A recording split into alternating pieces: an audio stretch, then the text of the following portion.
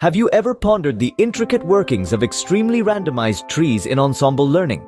Well, if so, you're in for a treat today because that's precisely the topic we are going to explore. So, what are extremely randomized trees, or extra trees as they are often called?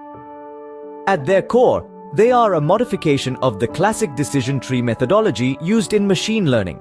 They fall under the larger umbrella of ensemble methods, which are essentially a group of models that work together to make predictions.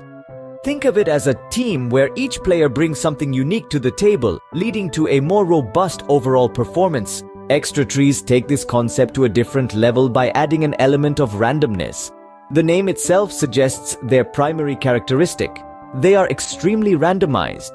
The randomization occurs at each node of the tree, where a random subset of features is used to determine the best split, instead of considering all features as in the case of traditional decision trees. But that's not all.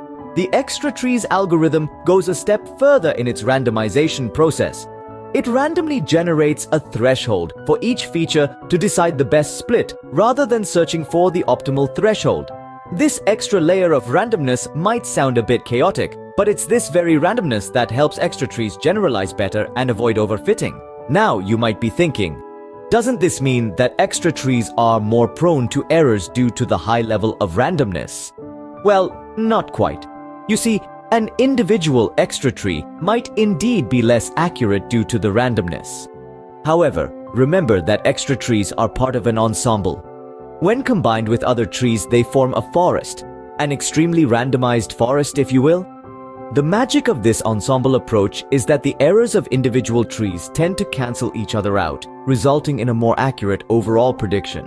In summary, extremely randomized trees are a type of decision tree algorithm that injects an extra dose of randomness into the process. This randomness helps them generalize better and avoid overfitting, especially when part of an ensemble. They might seem a bit chaotic at first, but when used correctly, they can be a powerful tool in a data scientist's toolkit. So the next time you're dealing with a complex machine learning problem, consider giving extremely randomized trees a shot. You might just find that a little extra randomness is exactly what you need to make your model shine.